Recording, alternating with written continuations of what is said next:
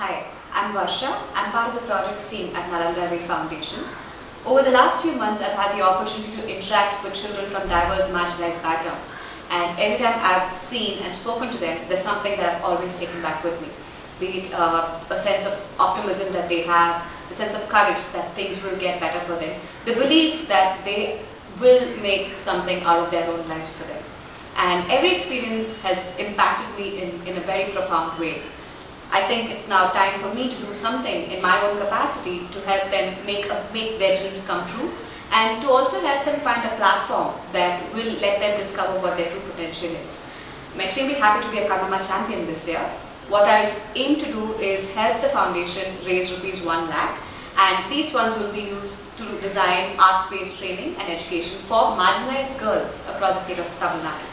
I seek your support to help me reach this goal by donating towards this cause.